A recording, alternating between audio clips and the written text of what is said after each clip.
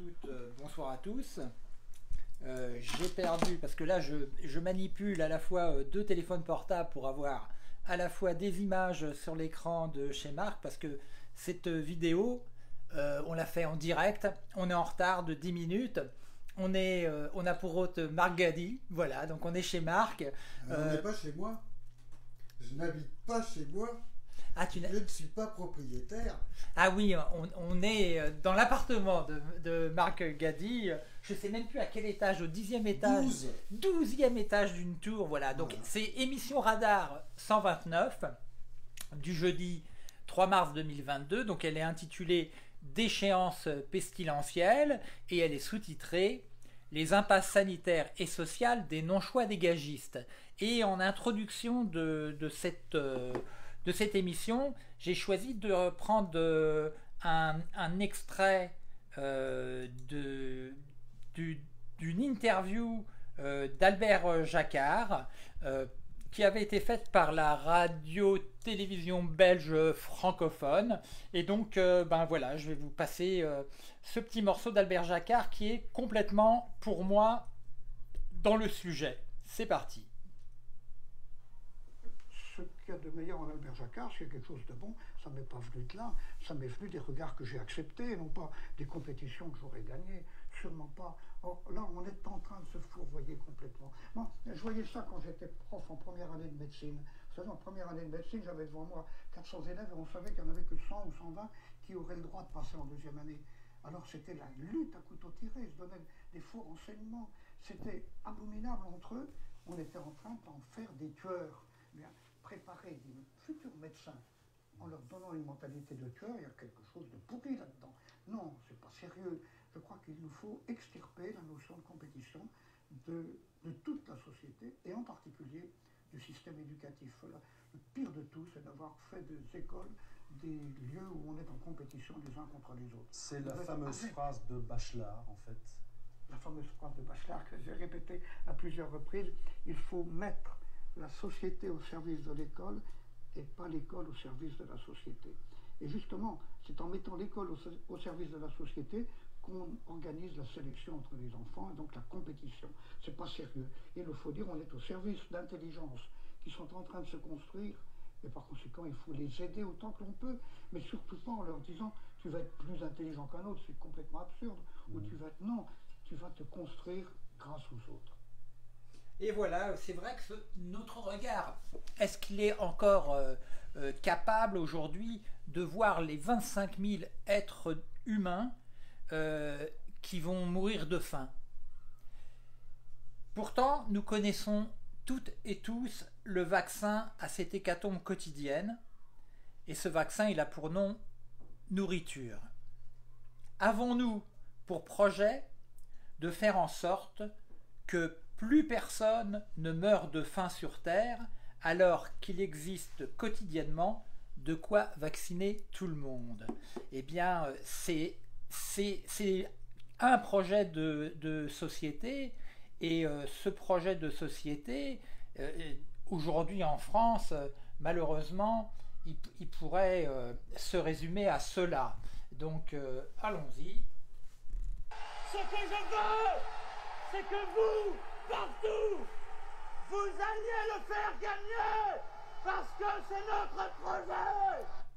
Voilà, c'est, il dit c'est notre projet. Euh, personnellement, ce n'est pas le mien.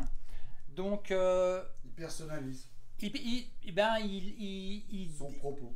non, il considère que euh, la France, les territoires français lui appartiennent et qu'il il va décider de ce que vont devenir à la fois les habitants et le territoire. Donc, la création du commissariat à l'énergie atomique, donc le CEA, est un choix militaire imposé en 1945, donc un choix imposé par un gouvernement provisoire, sans débat ni vote. Ce choix régalien exclut le solaire thermique au profit des impasses écologiques de production industrielle et centralisée d'énergie renouvelable, que sont les barrages hydroélectriques, l'éolien industriel et le solaire photovoltaïque. C'est pour ça que Total Energy, le CEA, la DGA, la Direction Générale l'Armement, et Gazprom ont les mêmes intérêts particuliers communs qui sont totalement antinomiques avec l'intérêt général, sanitaire, écologique et social de tous les peuples. Nous devons donc lutter pour acquérir notre indépendance vis-à-vis de toutes les énergies fossiles en développant le solaire thermique, mais aussi en fermant toutes les mortifères installations nucléaires pour mettre définitivement fin à l'abominable épée de Damoclès qu'est le chantage terroriste thermonucléaire.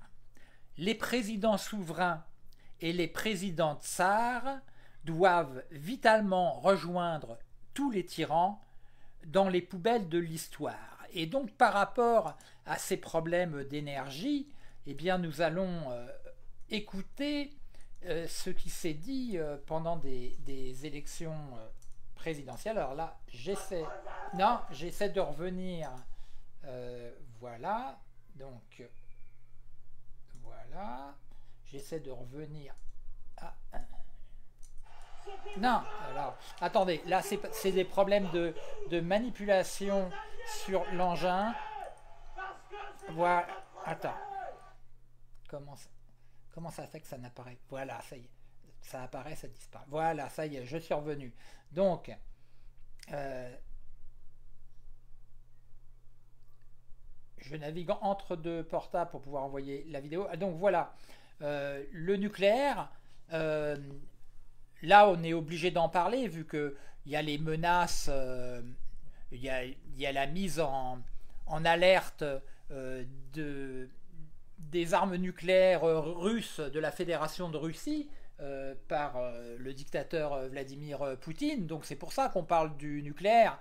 Mais ce nucléaire que les pseudos antinucléaires appellent militaire, alors que le nucléaire, il n'a pas plus de képi qu'il n'a de béret sur la tête, hein, eh bien, on va en parler, mais pour faire quoi? Pour faire peur aux gens en leur disant voilà le nucléaire est dangereux à cause des armes nucléaires. Non, le, le nucléaire n'existe que à cause des armes nucléaires. Sinon, comme disait Albert Einstein, c'est la plus diabolique façon de faire bouillir de l'eau.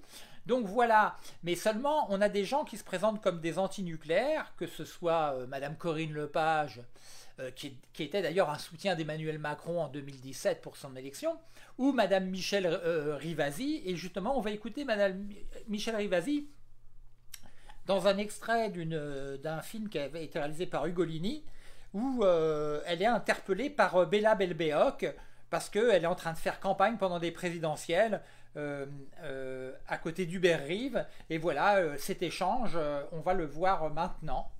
C'est parti.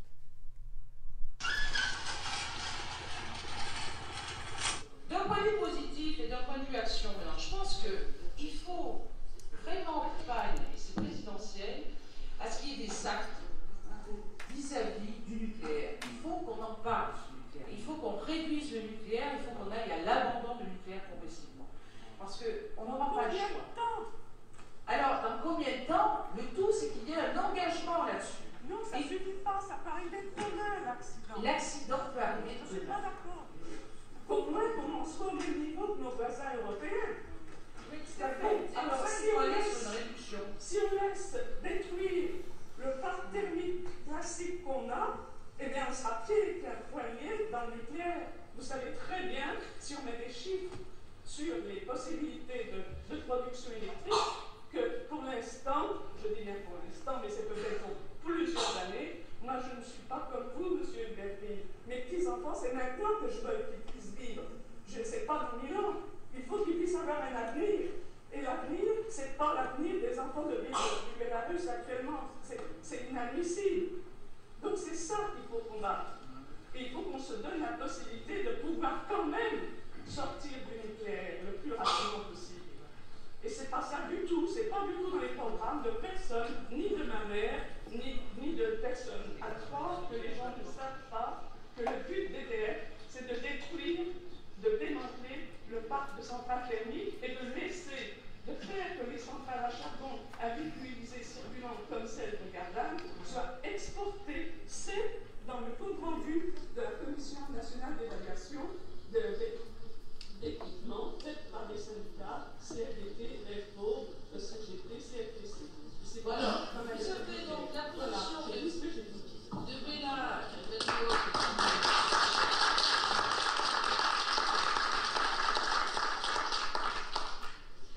Oui, bah les Greenpeace euh, nous ont diabolisés parce qu'on voulait euh, justement utiliser ce qu'on a pour sortir, c'est-à-dire le charbon on serait comme l'Allemagne, on ne veut pas plus. Hein. On puisse utiliser ce qu'on a et qu'on ne détruise pas. Pourquoi on l'entend pas plus Pourquoi on l'entend pas plus Mais pourquoi on ne l'entend pas plus? Parce que ça dérange tout le monde à cause de l'effet de serre. Donc maintenant, parler du charbon, c'est comme, comme si on parlait du diable. Voilà. C'est ça le problème. Et or, finalement, euh, euh, le gaz carbonique, euh, il est produit certes par le, par le charbon, mais quelle est la part des centrales thermiques à fioul et, charbon dans, dans, les gaz à effet de serre? C'est ridiculement faible par rapport au transport, par rapport à, ce qui est utilisé dans l'industrie et tout ça.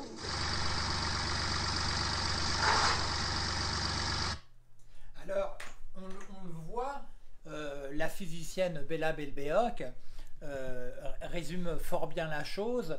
On, est là pour euh, parler du nucléaire pendant les présidentielles, mais euh, simplement le nucléaire devient un prétexte à un pseudo-débat, alors que comme je l'ai expliqué précédemment, le nucléaire a été imposé sans aucun débat ni vote en 1945 par le gouvernement provisoire.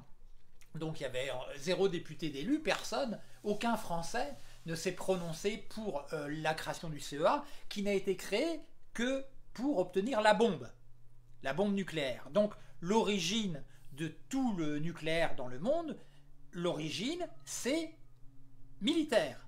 Le nucléaire est militaire. Après, euh, effectivement, pour avoir du plutonium, pour fabriquer des armes, eh bien, euh, comment dire, euh, on va aménager la chèvre et le chou. C'est-à-dire on va se mettre à fabriquer des centrales qui auront en sous-produit une production euh, d'électricité.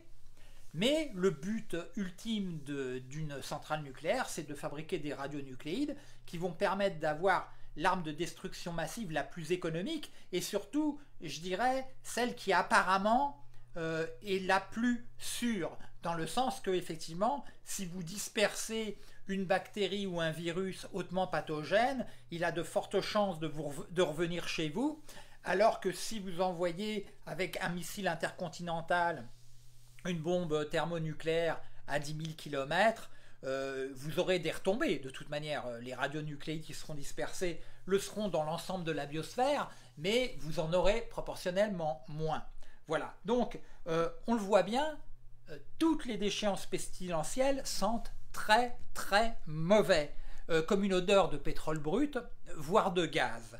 Le nucléaire a la même odeur durable que celle du nerf de la guerre, une odeur de sang et de larmes. Mais pas d'inquiétude. S'il accepte de se dévouer patriotiquement en tant que chef de l'État français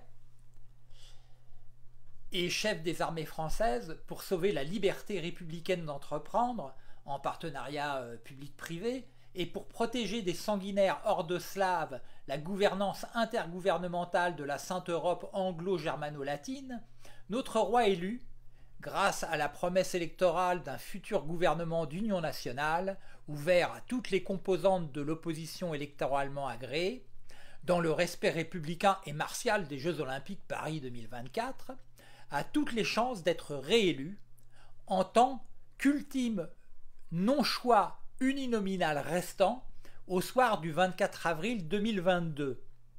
Tout cela avec deux jours d'avance sur le 36e anniversaire de l'explosion du réacteur nucléaire RBMK numéro 4 de la centrale nucléaire Lénine de Tchernobyl destinée à la production de plutonium pour l'arsenal thermonucléaire russe. Eh oui. Et donc euh, là, euh, je vais vous montrer ce que j'ai trouvé dans ma boîte aux lettres, parce que c'est pas piqué des hannetons. Euh, voilà, c'est. Il y a marqué Union populaire et en dessous, ben, il y a marqué Mélenchon2022.fr. Et alors, euh, il nous prend vraiment pour des buses, parce que vous voyez, il y a marqué élection présidentielle 2022, le 10 avril 2022, premier tour, le 24 avril 2022, deuxième tour. Notez bien ces deux dates, elles peuvent changer nos vies. Alors, qu'est-ce que je vais répondre à, ces, à cet apparatchik euh, puant? Eh bien, 26 avril 86, 11 mars 2011. Notez bien ces deux dates. Elles ont mis fin à la santé et à la vie d'innombrables êtres vivants et contaminé durablement la biosphère terrestre. Et oui, 26 avril 86, Tchernobyl, 11 mars 2011, Fukushima. Ce n'est pas en rétablissant la conscription, ni en conservant l'abominable, dispendieuse et dangereuse stratégie terroriste de la dissuasion nucléaire que le candidat contre les mauvais bombardements russes des populations civiles ukrainiennes nous fera oublier qu'il était pour les bombardements russes des mauvaises populations syriennes, celles qui subissaient ou s'opposaient à la dictature impitoyable et sanguinaire de la richissime famille Assad. Personnellement, je n'ai strictement rien de commun avec cet abominable programme militariste, nationaliste et totalement insoumis au respect de la vie.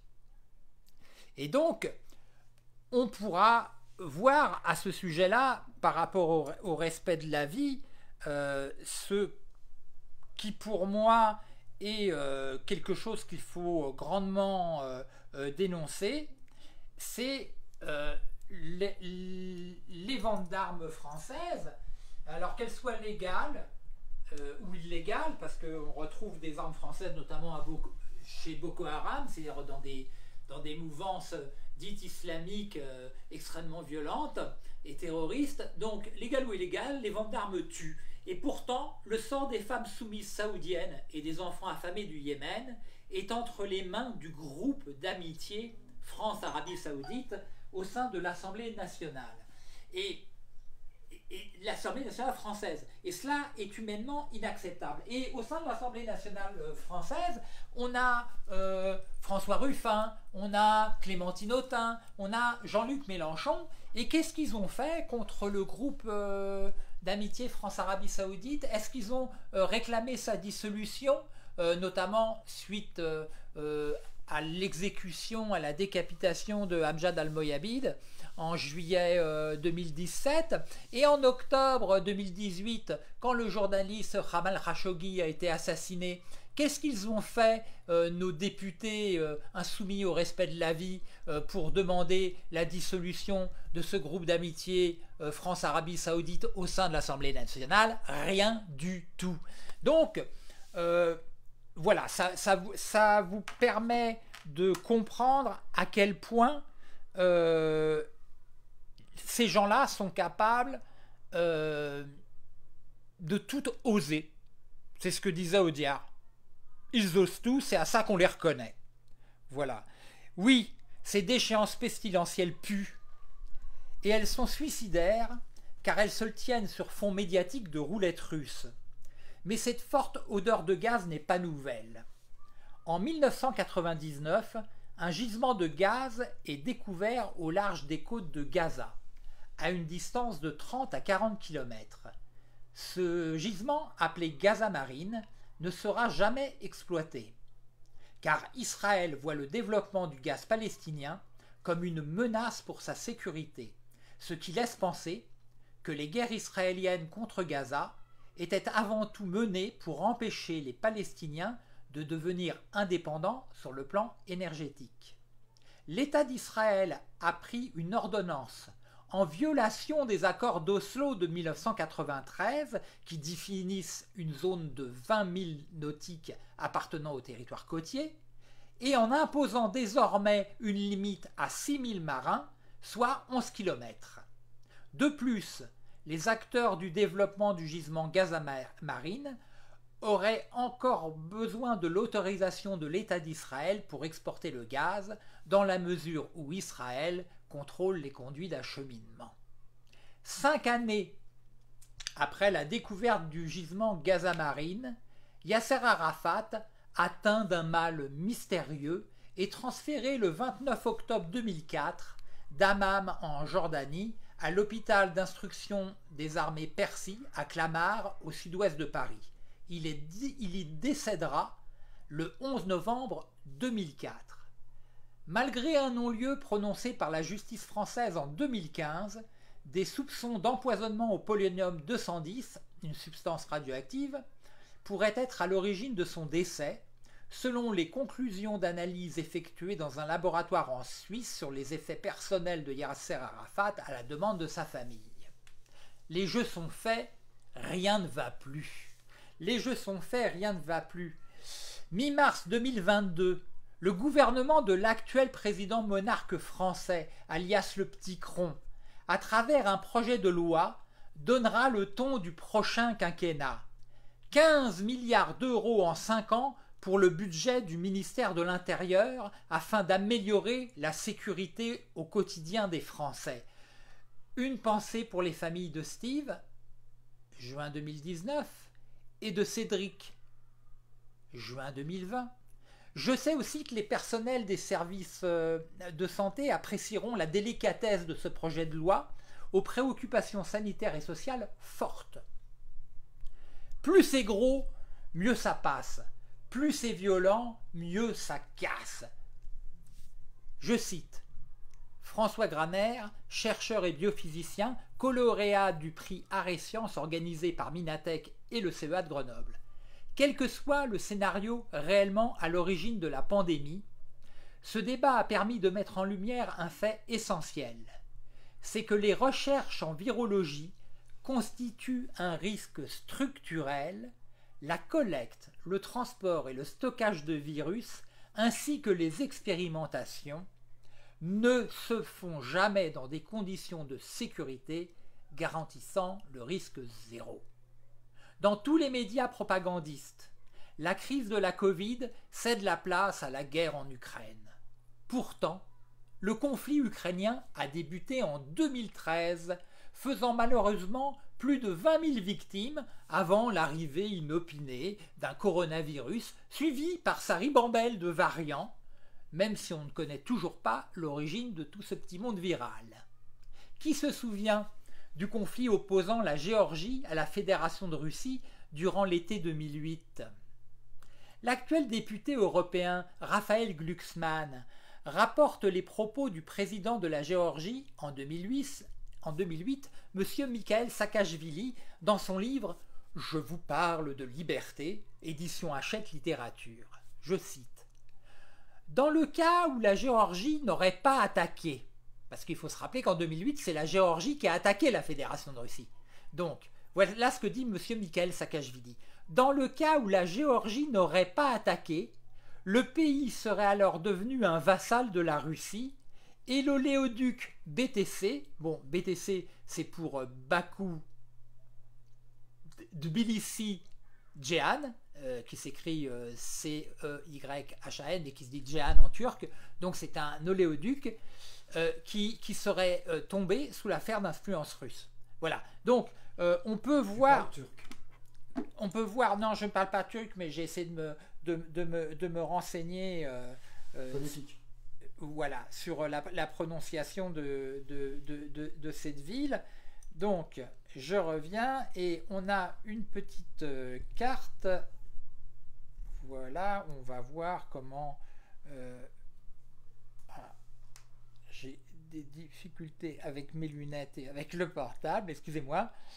Euh, ah, non, bah déjà, déjà on peut regarder ça. Parce que tout à l'heure, on a, on a parlé d'Arafat avec euh, des suspicions d'empoisonnement au polonium. Et, là, on voit des opposants, des journalistes. Donc certains ont été empoisonnés, alors d'autres tués à l'arme à feu. C'est des opposants russes. Euh, oh, il y a marqué au Kremlin, non, à Vladimir Poutine, qui ont été assassinés. Voilà. Donc, euh, il y a des gens actuellement qui euh, veulent nous faire croire qu'il y a une espèce de cabale contre euh, Télépoutine. Voilà, Russia Today. Alors, moi, je tiens à dire quelque chose par rapport à ça, Marc. Russia Today, visiblement, va être interdite de diffusion dans la sphère de propagande de l'Union européenne. Alors, on pourrait croire, parce que moi je défends la liberté d'expression, que, que je trouve ça scandaleux. Oui, c'est scandaleux. Mais par contre, il est important quand même de parler de ce qu'est Russia Today. Russia Today, pour moi, je l'appelle euh, Télépoutine, parce que ils emploient exactement la stratégie euh, qui était celle de Goebbels. Goebbels avait dit le meilleur des mensonges, c'est la vérité. mais une partie de la vérité. Et donc, sur euh, Télépoutine, tout est orienté. C'est-à-dire que tous les reportages sont à décharge pour la Russie et à charge contre les États-Unis, contre l'Union européenne. Et, donc, on ne peut pas appeler ça du journalisme. C'est-à-dire que quand le journalisme est toujours à charge d'un côté, eh bien, c'est de la propagande. Voilà. Donc, moi, ça ne me gêne pas. Moi, euh, je trouve ça idiot d'interdire euh, euh, Russia Today parce que j'aime bien aller regarder ça parce que je sais, il y a marqué camembert dessus, je sais que c'est du camembert, donc je sais que c'était les poutines. Et, par contre, ça me permet d'avoir des informations qui me permettent de juger la teneur de la propagande que, je subis euh, de la part des médias. Euh, agréés par l'Union européenne, ou tout du moins en France de ceux appartenant au groupe Bolloré, euh, et donc, ça me permet de, faire un peu la, part des choses et de me rendre compte que effectivement, il y a des formes différentes de nationalisme qui, s'affrontent et de propagande. Et donc, on arrive, euh, je dirais, euh, par défaut, c'est un petit peu comme un pochoir. Dans les trous, si on projette un petit peu de, peinture et qu'on retire le pochoir de ces propagandes, et eh ben on, on en aperçoit une réalité qui pourrait correspondre effectivement à certains phénomènes géostratégiques. Mais effectivement, ce qui est inquiétant, c'est que quand euh, les pays de l'Union européenne se mettent à vouloir euh, interdire Russia Today, en fin de compte, euh, au-delà de la dénonciation d'une chaîne de propagande, ils, estiment que cette chaîne de propagande fonctionne bien et est très concurrentielle par rapport à leur propre propagande. Donc on est là dans un aveu, en fin de compte, euh, de, l'efficacité de la propagande de la Fédération de Russie euh, à travers, euh, par rapport à une information qui elle-même est propagandiste. Parce que moi, je m'aperçois que d'un autre côté, je vois des médias où tout est à charge contre la Fédération de Russie. Et Dieu sait que je n'ai pas d'atome crochu avec euh, l'ignoble dictateur qui est euh, Vladimir Poutine. Mais je trouve ça euh, assez insultant à notre intelligence que de dire qu'on va interdire des médias parce que c'est de la propagande et que ces médias eh bien, sont interdits par des médias qui eux-mêmes sont de la propagande. Voilà, c'était un, petit, un petit détail, mais important pour moi parce que moi, je, le dis très clairement, j'ai pas à choisir de camp. C'est-à-dire, je suis pas comme, euh, comme euh, Monsieur Lallemand, le, préfet de police de Paris. Euh, moi, ça fait plus de 20 ans, ça va faire 20 ans d'ailleurs, si Dieu nous prête vie, je dirais, qu'en août prochain, je jeûne 4 jours à l'eau à Taverny contre les, abominables et dispendieux arsenaux thermonucléaires français, 300 ogives thermonucléaires. Hein. Euh, autant ou si ce n'est plus, je crois que la République populaire de Chine, il hein, faut le savoir quand même. Euh, et, euh, et, par rapport à ça, ben je le vois bien, que ce soit l'Union européenne ou, ou Russia Today, bah, je, je, je, médiatiquement, j'existe pas. Alors, Pourtant, c'est pas franchement de la propagande que d'expliquer que c'est presque 6 milliards d'euros qui sont envoyés dans BNP Paribas, ADS et, beaucoup de, marchands d'armes tous les ans, tous les ans, pour quelque chose qui est extrêmement dangereux, parce qu'il y a quand même euh, des gens qui, meurent parmi les personnels, les, militaires et les personnels civils, notamment ceux qui accrochent les bombes sous euh, maintenant les rafales version euh, nucléaire, ou ceux qui sont obligés euh, d'entretenir les, têtes des armes thermonucléaires, parce qu'il faut, il faut changer certains radionucléides, parce que voilà, ça, s'entretient une arme thermonucléaire. Et, donc, une puissance thermonucléaire est obligée d'avoir des installations nucléaires. Voilà, donc ça, il faut le comprendre. Et donc, moi, j'aurais aimé, personnellement, hein, euh, quand le dictateur Vladimir Poutine a expérimenté euh, un missile à propulsion nucléaire au-dessus de l'Europe, là j'aurais voulu un tollé général euh, de tous les pays, et notamment des cinq principaux marchands d'armes du monde, les cinq membres permanents du Conseil de sécurité, en disant attention là, tu dépasses les bornes mon gars, parce que tu pollues l'ensemble de la biosphère et tu es en train de trafiquer quelque chose d'extrêmement dangereux pour l'ensemble de la population de la Terre. Donc voilà. moi j'ai une question. Oui. Tu parles de médias un peu consistants qui sont qui s'imposent sur la planète et tu dis même les subir. Là, à l'heure actuelle, oui, bien sûr. on est dans une émission, on diffuse un programme avec une certaine écoute.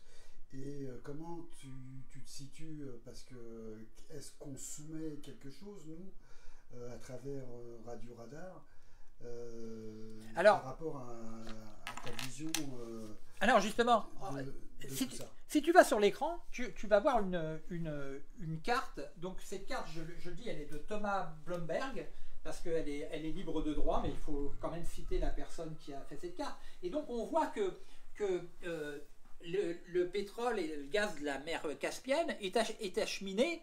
Voilà, ça c'est un, gazoduc qui se fera jamais. Euh, mais donc ça passait par Tbilissi en, Géorgie et ça allait jusqu'en Turquie, voilà, ici, pour repartir.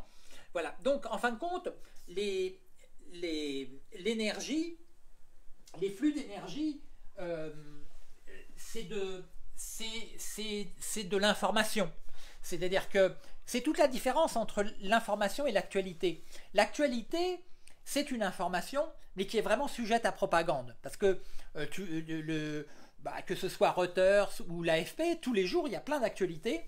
Et, euh, chaque rédaction vient piquer dans toutes ces nouvelles et euh, chacun euh, crée son storytelling autour. Et donc, et alors qu'une carte, c'est beaucoup, plus, beaucoup plus factuel. Moi, j'aimais bien l'émission le, dessous des cartes parce que tu vois, le, tu vois les, les territoires, même si, comme disait Élisée Reclus, la carte n'est pas le territoire, mais quand même, ça te permet de saisir euh, des, rapports euh, géostratégiques et de comprendre que euh, les peuples, tous les peuples, sont otages de ces systèmes gouvernementaux avec des frontières, avec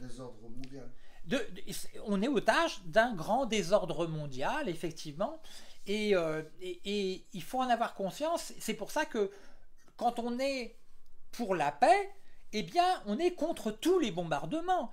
Euh, on ne peut pas justifier de bombarder une ville où il y a des femmes et des enfants, euh, avec aucun prétexte ne permet de justifier le bombardement de, populations euh, civiles.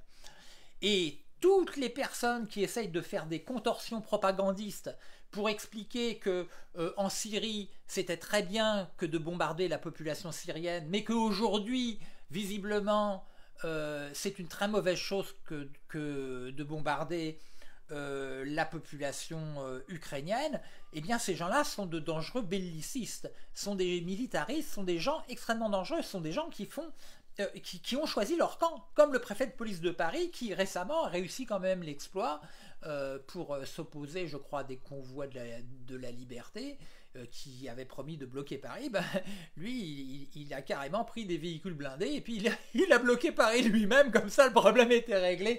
Voilà, donc on arrive à ça, c'est-à-dire que ce sont des situations où de toute manière, euh, le dialogue euh, est refusé et le refus du dialogue, c'est le conflit. C'est le conflit. tôt ou tard, c'est le conflit.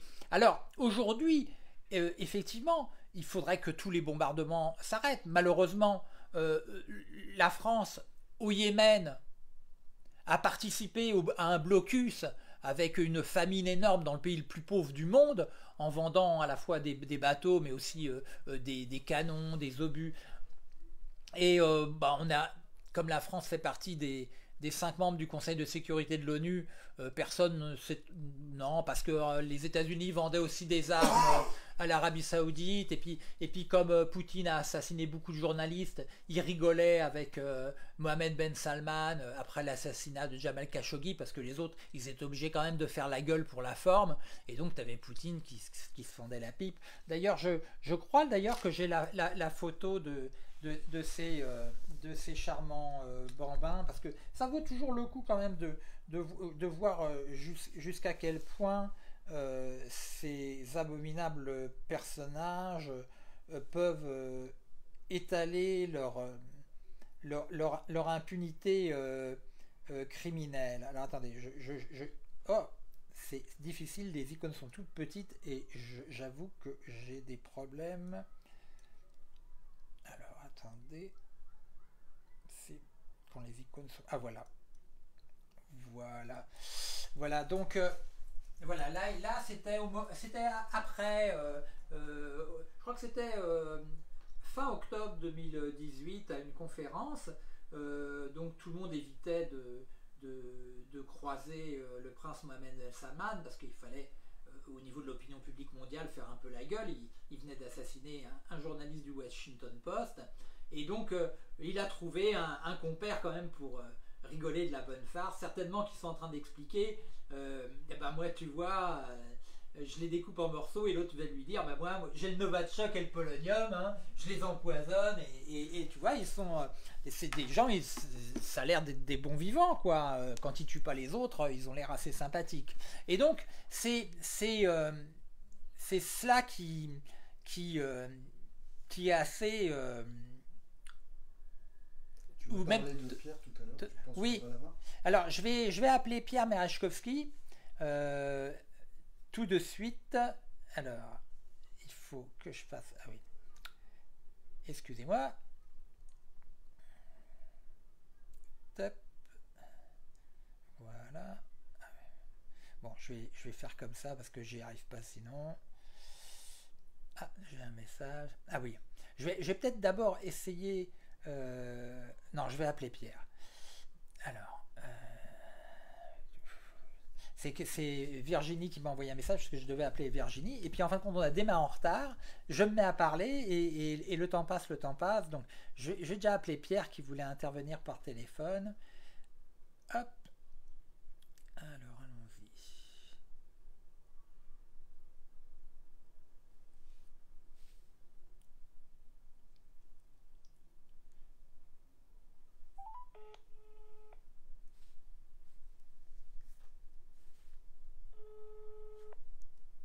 Oui, mais on voit le. Il faut pas que tu montres numéro de téléphone.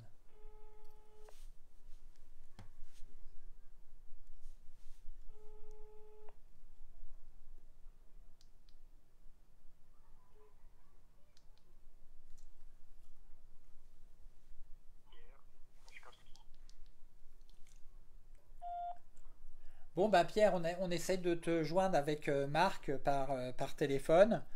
Euh, ah. Ah, c'est peut-être lui qui rappelle. Oui. Ah. ah. Alors, je, le rappelle, parce que c'est assez incroyable, j'arrive pas à attraper un appel. Euh,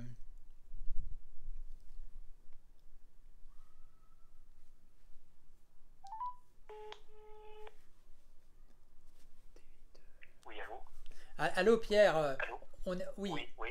On est en direct, tu peux y aller. Salut Pierre Oui, oui, salut. Bon. Euh, qu'est-ce qu'il fallait dire alors? Enfin, de, de, quoi vous parlez eh ben, on, on, était en train de parler euh, de, de, la, de la situation actuelle dans laquelle les régimes de propagande voulaient organiser en France des élections présidentielles.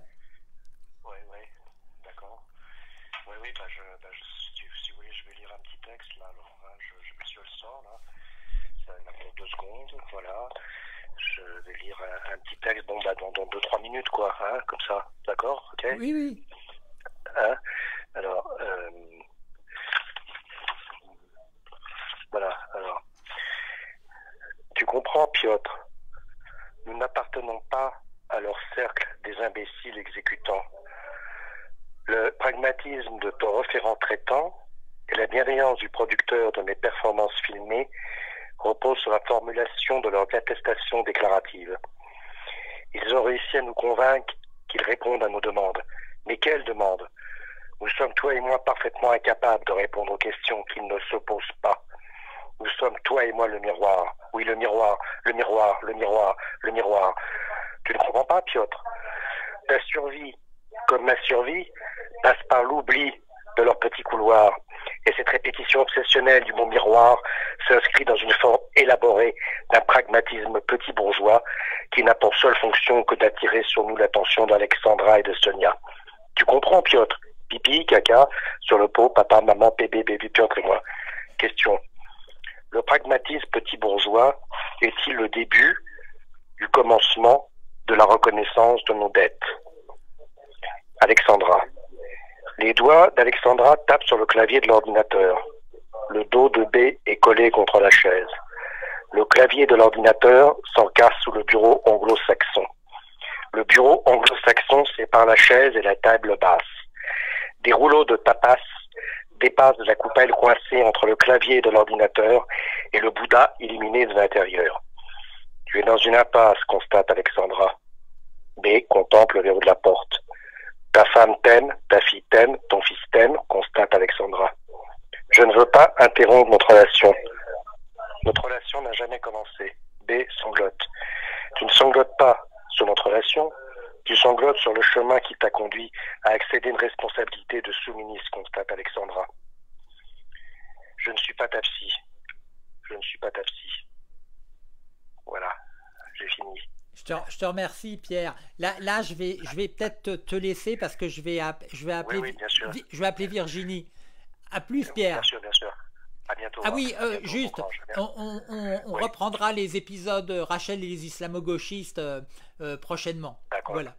Allez, Oui, oui, bah, je, je, je, je reviens le don, je t'appelle, hein, je reviens le 11 à peu près. t'appelle. ok. À, plus, bientôt, Pierre. À Ciao. bientôt. Ciao, ciao. ciao. Hop, Alors, tac, déjà. Et donc là, je. Oui, là, Virginie, oui, non, là, je vais essayer de la, de la voir sur Messenger. Messenger.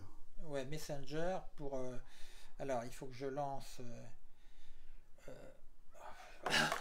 à chaque fois, ça me le. Avec les yeux, c'est mieux. Oui, oui. Avec les yeux, c'est mieux, comme tu dis. Alors, voyons voir. Est-ce que ça y est, je l'ai Donc, euh, pour avoir.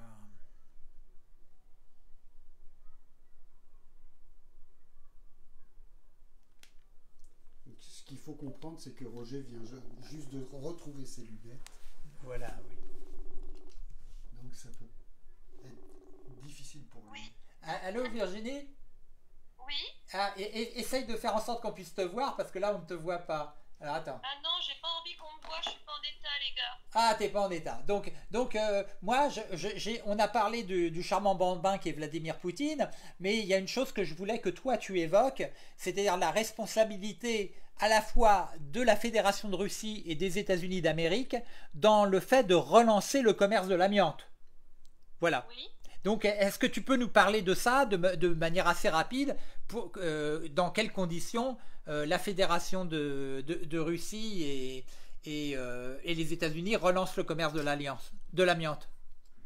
Eh bien, en Russie, il y a une ville qui s'appelle Asbest, et donc ça, ça veut dire amiante, et il y a des carrières d'amiante, donc l'amiante est extrait, et depuis, euh, depuis l'ère Trump, en fait, eh bien, Poutine et Trump s'étaient mis d'accord pour, euh, pour à nouveau euh, accorder l'exportation d'amiante sur, sur les États-Unis. Voilà, en gros. C'est aussi simple que ça. Alors que les États-Unis ont été l'un des premiers pays à avoir une réglementation sur l'amiante dès les années 70. D'accord. Et, pa- et par rapport, euh, parce que là, on est, notre thème, c'est les déchéances pestilentielles. euh, euh, tu- on voit tout le, ba- tout le battage actuellement qui est fait. euh, C'est-à-dire que le Covid vient de disparaître derrière la, la- la guerre en Ukraine et, et ben, les problèmes d'amiante dans les établissements scolaires, ben, jusqu'à présent, euh, j'en ai pas trop entendu parler. Euh, le fait qu'on ait encore euh, du glyphosate dans, des résidus de glyphosate dans nos assiettes, pareil, alors que c'est lié directement à la politique de, l'Union européenne, hein, qui nous a remis pour 5 ans. Les Français ont été très sages, hein, ils ont quand même bien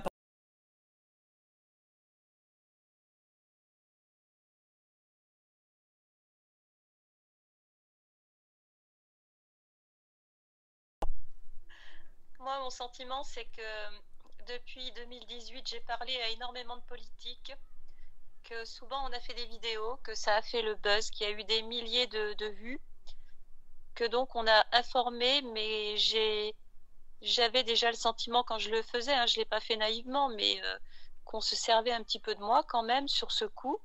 Moi, je m'en fichais puisque je le fais pour la cause, mais je vois que les choses n'avancent pas. Et puis, je vais dire quelque chose, je vais peut-être me mettre des gens à dos, mais je vais le dire quand même, je m'en fiche puisque j'ai toujours affiché mes, mes idées anarchistes. Euh, je reviens d'ailleurs sur le terme hein, pour les auditeurs Anne, sans et archi gouvernement. Donc euh, voilà, ça ne veut pas dire foutre le bordel. Hein. C'est à peu près le contraire, l'anarchie. Euh, j'ai travaillé notamment avec des personnes de la France insoumise. Je sais qu'une eurodéputée a cité le nom de mon père pour parler de la problématique de l'amiante. C'était en octobre. Euh, ça m'a touché, oui, sur le coup, mais j'aurais aimé être auditionnée en tant que témoin et on m'a dit que bah, c'était trop tard. Donc euh, je ne cache pas ma déception puisque les premiers concernés, c'est nous, les familles de victimes de l'amiante. On n'a pas accès à la justice. On en est toujours au même stade. Hein. Les premières plaintes ont été déposées en 1996. Et j'estime que la priorité, c'est la médiatisation. Et euh, j'estime que le rôle des politiques, c'est de, c'est de nous mettre en avant, nous, euh, ceux qui ont été touchés par ça, ceux qui le paient cher tous les jours dans leur chair, dans leur âme, et ils ne le font pas. Et, ça, je peux vous dire que je leur reproche, mais je le dis là aujourd'hui, vraiment, je suis pas contente du tout. Et Virginie, euh, là, on va, on va passer sur l'écran en même temps qu'on reste avec toi. Euh, il y a Léonard Pelletier, il est en prison depuis 1976. 1976, je crois que c'est le plus vieux prisonnier politique du monde. Au, au, pays de la liberté, aux États-Unis d'Amérique. Euh, voilà, et, donc, qu'est-ce que tu peux qu'est-ce que tu peux nous dire par, par, par, rapport, par, par, rapport à ça? Bah, je pense la même chose que vous, hein, puisque je sais que Marc et toi, vous suivez aussi le parcours de Léonard Pelletier. Qu'est-ce que tu veux que je te dise si ce n'est que je suis dépité et que cet homme-là va mourir en prison alors qu'il est innocent et que c'est reconnu par la justice? Qu'est-ce que qu'est-ce que tu veux que je te dise? Il n'y a pas de mots pour ça. Donc c'est infâme, c'est tout.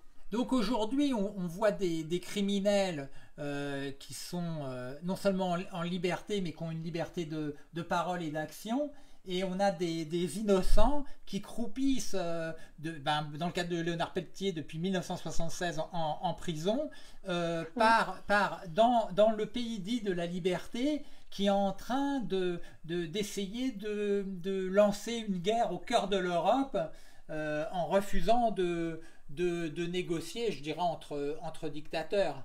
Bon, ben, Virginie, oui. je, te, je te remercie pour cette intervention par rapport à, l'amiante.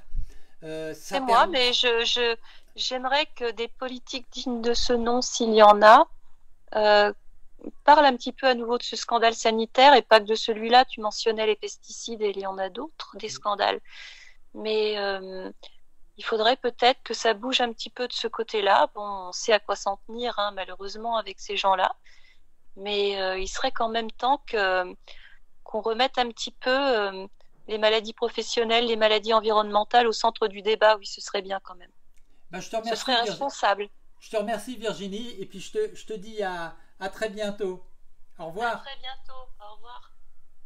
Alors, par, par, rapport à ça, euh, euh, il y, a, y a, on en parlait tout à l'heure, c'est-à-dire que l'État français, c'est quand même un pays qui représente moins de 1% de la population humaine de la planète et qui est le troisième marchand d'armes. Et quand j'ai parlé qu'à l'Assemblée nationale, il y avait un groupe d'amitié France-Arabie Saoudite, eh bien, il y a un des candidats au présidentiel qui a ses 500 signatures, euh, qui s'appelle Jean Lassalle, qui est membre, qui, est membre de ce groupe d'amitié euh, France-Arabie Saoudite. Euh, alors, il se présente sous un visage patelin, et en fin de compte, ben, il soutient euh, une dictature confessionnelle qui ne respecte pas les droits des femmes et les droits humains. Et donc, euh, je, pense qu'il faut sanctionner très sévèrement ces gens-là en ne votant pas pour eux. Il y a aussi, euh, il y a aussi une, autre, une autre personne qui, qui, pour moi, est assez infecte, qui est financé par par Bolloré, parce qu'il passe dans toutes les chaînes du groupe Bolloré, et ce type-là a obtenu 500 signatures, et, je trouve ça extrêmement inquiétant.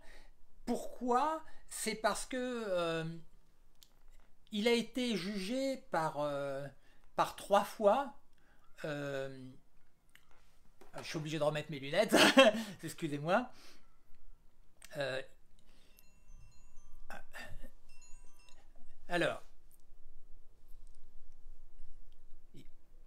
voilà, je, reviens parce qu'il faut que je, trouve ça. Voilà. En guerre, Michael Saakashvili. Voilà, c'est-à-dire quand on a parlé du conflit de 2008 avec la Géorgie, eh bien, M. Raphaël Glucksmann, c'était le conseiller de Mikhail Saakashvili de 2005 à 2012. Mais plus inquiétant encore, il est aujourd'hui président de la commission spéciale sur l'ingérence étrangère dans l'ensemble des processus démocratiques de l'Union européenne. Donc ces processus démocratiques doivent certainement inclure l'embastillage des députés catalans d'Espagne suite au référendum illégal du 1er octobre 2017. Voilà, est-ce pour cette raison qu'une pétition intitulée Accueillons l'Ukraine dans l'Union européenne a été lancée opportunément sur la plateforme WeSign.it dans le cadre de l'actuelle invasion de l'Ukraine par la Fédération de Russie pour exiger l'entrée immédiate de l'Ukraine au sein d'une gouvernance intergouvernementale refusée démocratiquement en France par une nette majorité d'abrutis qui n'avaient pas compris la question, par référendum d'initiative présidentielle le 29 mai 2005. Voilà. Donc, on voit bien que les référendums organisés de manière illégale par la Fédération de Russie euh, dans une partie de l'Ukraine et qui ont obtenu euh, le consentement de la population euh, pour être russe, eh bien, on peut les mettre au même niveau que le référendum qui s'est pareillement déroulé de manière complètement pacifique au pays catalan espagnol, mais qui a valu quand même euh, que ces députés ont été euh, embastillés. Voilà, donc euh, cette pétition, voilà ce qu'on peut y lire. Aujourd'hui, les peurs, les larmes et les espoirs des citoyens ukrainiens sont partagés par 450 millions d'Européens. Donc tu vois, ces gens qui lancent sa pétition, ils parlent au nom de 450 millions d'Européens. Hein. Donc euh, visiblement, les gens qui font pas partie de l'Union européenne, enfin des nations, ils sont pas européens. Hein. Les Ukrainiens paient le prix du sang pour faire vivre les valeurs fondatrices de l'Europe. Accueillons-les au sein de l'Union européenne. Alors, est-ce au nom des valeurs euh, fondatrices de ce qu'ils osent appeler l'Europe que nous avons encore légalement des résidus de poison glyphosate dans nos assiettes? Ou est-ce plutôt au nom de la valeur de l'action Bayer-Monsanto, véritable IG Farben ressuscité, avec la bénédiction des commissaires intergouvernementaux non élus de la gouvernance de l'Union européenne Voilà. C'est-à-dire qu'on est là dans la présentation euh, de, choses qui nous sont imposées, c'est-à-dire le fait qu'on continue à nous empoisonner aux pesticides, et on nous dit d'accueillir les Ukrainiens au sein de, cette gouvernance euh, qui est dirigé par des gens non élus, c'est-à-dire un petit peu comme euh, l'Union euh, soviétique. Hein, euh. Donc dans un article du site lemonde.fr du 3 septembre 2012 intitulé En finir avec le despotisme de Mikhail Saakashvili en Géorgie, Salomé Zourabichvili, ancienne ministre des Affaires étrangères de Géorgie, écrit Lors du conflit armé de 2008, nous étions un certain nombre à avertir la communauté internationale la rhétorique musclée du régime de Mikhail Saakashvili, les slogans militaristes et la stratégie de la tension avec Moscou étaient la fuite en avant d'un régime qui cherchait à renouveler sa légitimité en mobilisant contre la menace extérieure. Une menace extérieure réelle, utilisée à des fins de politique intérieure, les propos de cette journaliste laisseraient-ils supposer, une décennie plus tard, qu'un dirigeant sortant, en manque cruel de popularité, pourrait cyniquement se saisir d'un mal exogène pour le transformer médiatiquement en une opportunité intérieure. Pour cela, il faudrait que cet hypothétique candidat sortant puisse bénéficier d'une très large couverture médiatique. Eh bien, ces conditions sont réunies grâce au président Nicolas Sarkozy, l'ami proche de l'actuel sinistre de l'Intérieur, qui a supprimé en 2007, peu après son élection en tant que président souverain, la règle médiatique des deux tiers qui nuisait efficacement à la constitution de monopoles médiatiques en France. Est-ce une des raisons pour lesquelles le milliardaire breton Vincent Bolloré a mis gracieusement son avion privé et son yacht à la disposition du couple présidentiel juste après son élection en 2007 Ça aussi c'est une autre question intéressante. Je le répète, les jeux sont faits, rien ne va plus. Il est indéniable que la Fédération de Russie envahit l'Ukraine. Mais gardons à l'esprit pour George W. Bush, l'invasion de l'Irak en 2003, l'invasion de l'Irak en 2003, il n'y a pas de mandat de l'ONU, invasion de l'Irak en 2003 a rendu le monde plus sûr. Est-ce que vous avez l'impression de vivre dans un monde plus sûr depuis ces 19 dernières années, depuis l'invasion de l'Irak par les États-Unis d'Amérique? Comment un individu condamné pour la troisième fois, le lundi 17 janvier 2022, pour provocation à la haine et à la violence et injure publique envers un groupe de personnes en raison de leur origine, après ses propos sur les mineurs isolés qu'il avait traités le 29 novembre 2020 sur la chaîne CNews de voleurs, violeurs, assassins, comment se fait-il que cet individu n'ait pas frappé d'inéligibilité? Ce type-là a ses 500 signatures. Ça aussi c'est un scandale. Donc pareil, j'appelle au boycott complet de Jean Lassalle et de Éric Zemmour, qui sont deux personnages extrêmement puants dans le cadre de ces élections pestilentielles, presque autant que le petit cron. Pendant ce temps-là, le ministre de l'Intérieur français espère dissoudre des associations de soutien aux populations palestiniennes, dont Amnesty International France, car cette association communique au sujet des conditions de ségrégation systématique que subissent légalement ces populations de la part de l'État d'Israël.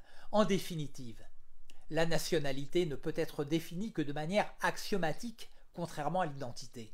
Ces axiomes seront politiquement et soigneusement choisis afin de désigner qui sera exclu de la société. Le but n'est pas d'additionner, donc d'unir, mais au contraire de soustraire. Soustraire des individus. Les individus sont soustraits de manière technocratique, administrative, judiciaire, au respect et à la solidarité communautaire qui est humainement due à toutes et tous. Le fascisme est fondamentalement un violent principe d'exclusion l'être humain en tant qu'animal social est voué à plus ou moins long terme à son auto-extinction s'il est dénoncé en tant que corps étranger à la communauté. Ne pas travailler en France, alors là, on, va le voir, ne, pas travailler en France, ne pas payer d'impôts à l'État français, euh, ni aucune cotisation euh, sociale, disposer de propriétés immobilières et foncières en France, être actionnaire d'entreprises industrielles nationales de l'armement, être un monarque confessionnel absolu, financer des écoles coraniques sur le territoire français, assassiner des journalistes et des opposants politiques à l'étranger, fera de vous un invité de marque de la République française. Et alors là, tu vas, tu vas, tu vas retrouver euh, euh, une, pancarte euh, que, que, que tu connais bien, je vais essayer d'y aller parce que c'est pas évident. Voilà, voilà. Et donc on, le voit bien, effectivement, ce monarque qui assassine des journalistes et, des opposants, eh bien, il est un invité de marque de la République française et on voit le petit cron, il est, oh là là, comment dire, extrêmement, un peu, un peu courbé vers, vers sa majesté le, prince Mohamed Ben Salman parce qu'il y a bon les contrats, il euh, y a bon les contrats d'armement. Voilà. Par contre, travailler en France, payer des impôts à l'État français, cotiser pour la santé et la retraite, mais ne pas disposer d'un permis de séjour, voire d'une pièce euh, d'identité française, fait de vous un dangereux criminel, passive, passible, administrativement, d'une mortelle OQTF. OQ, non, hein, s'il vous plaît. Obligation de quitter le territoire français. Alors cette décision d'exclusion, qui malheureusement correspond parfois à une déportation, est prise par une personne cooptée. C'est le virilisme, exactement. C'est, quand, Pierre Merechkovski parle de virilisme, on est, on est exactement dessus. Ça, c'est tout l'inverse. c'est notre ami Eric Petetin, donc je vous invite à, vous intéresser à cet homme-là qui a, qui a subi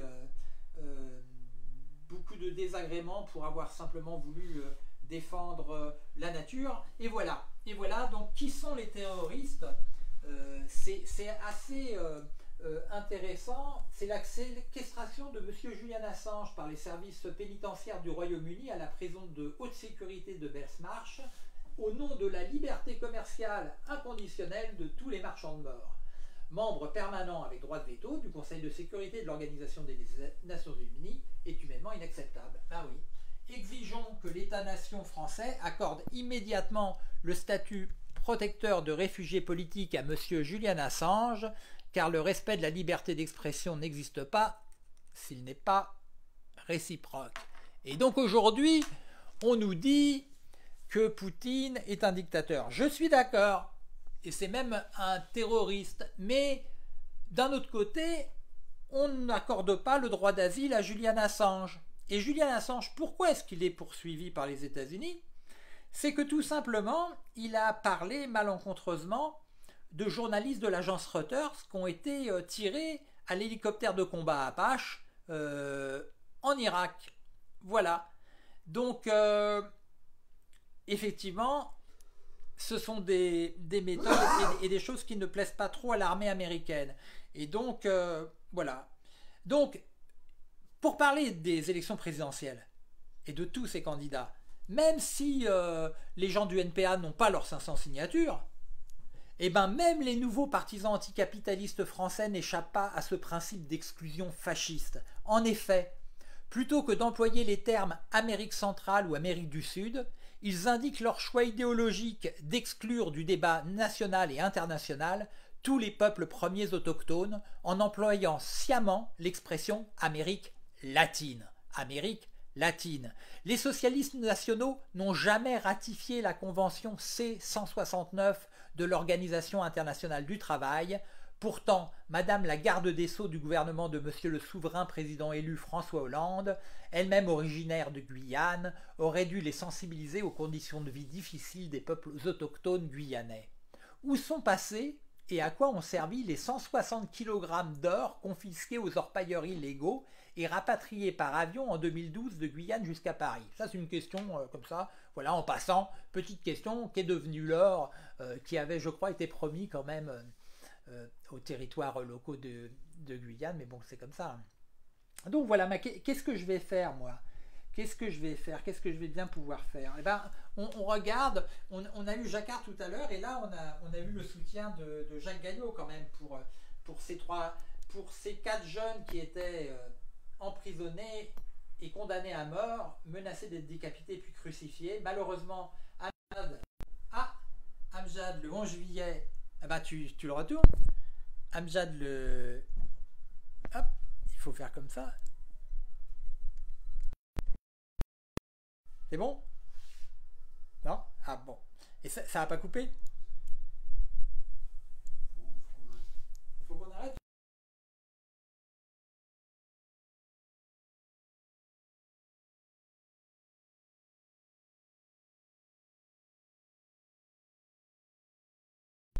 Oui, tu vois, il n'y a, pas de problème. Donc, euh, on, avait eu le soutien de, Jacques Gaillot, et, oui, on a, on a quand même, euh, avec six années de, présence et de persévérance, euh, obtenu les libérations des, trois, survivants.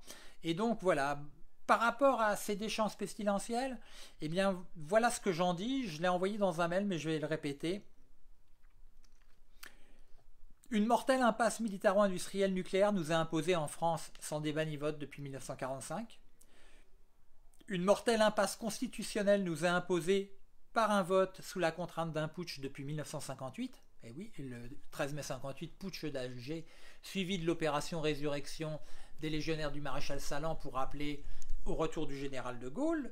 Donc participer aux prochaines déchéances pestilentielles, autrement qu'en exerçant des actes de sabotage non violents, revient à accepter par avance les dictates d'un futur président souverain et ceux de sa cour d'affairistes. Nous voterons pour Madame Annie Thébomoni, aux deux tours de cette mascarade antidémocratique et anti-républicaine, car elle n'est pas candidate, et parce que nous n'accepterons jamais l'agrément obligatoire par cooptation indispensable pour valider les candidatures. C'est grâce à cette perversion que ce système monarchique non, dynastique est néanmoins totalement irréformable. Pandémie et guerre sont imposées au peuple par les cinq membres permanents du Conseil de sécurité de l'Organisation des Nations Unies. Ces cinq nations sont des nations terroristes thermonucléaires, mais ce sont aussi les principaux marchands d'armes de la planète. Étonnant, non? Vive l'insubordination non violente active. Et là, je vais... Voilà, on l'a ici. Euh, le bulletin Litébomoni. Donc il faudra qu'il soit sur papier, recyclé, 70 euh, grammes, euh, aux, bonnes, dimensions. Vous, pouvez aller voir ça, c'est assez intéressant de voir comment doit être fait le bulletin. Donc moi je mettrai à disposition un PDF, vous pourrez en imprimer deux, mais il faut faire ça sur du papier recyclé 70 grammes. Et aux deux tours, vous pourrez aller voter pour Annie Bomoni parce que vous ne trouvez pas, elle a passé sans signature, elle se, se présente pas, elle est pour la fin du présidentialisme, voilà, et nous on se retrouve si Dieu le veut. Hein, on se retrouve le jeudi 7 avril 2022 euh, en direct de 19h à 20h pour notre 130e émission euh, Radar. J'espère euh, que tous les petits contretemps, les petites insuffisances techniques n'auront pas trop gâché le contenu même de l'émission qui est in fine, de dire on, a le pouvoir, nous avons le pouvoir, euh, les, gouvernements euh, entretiennent à travers des systèmes médiatiques de propagande l'illusion d'avoir euh, le pouvoir. la guerre, il n'y en aura pas si chacun d'entre nous refuse simplement de porter une arme. Voilà. Et c'est aussi simple que ça.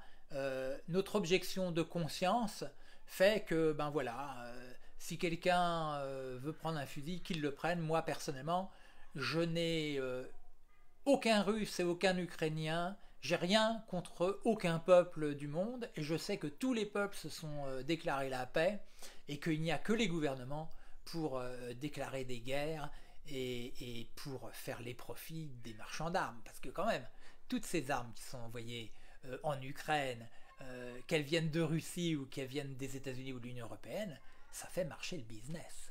Voilà. Au revoir à toutes, au revoir à tous. Alors vive la Terre et vive ces terriens.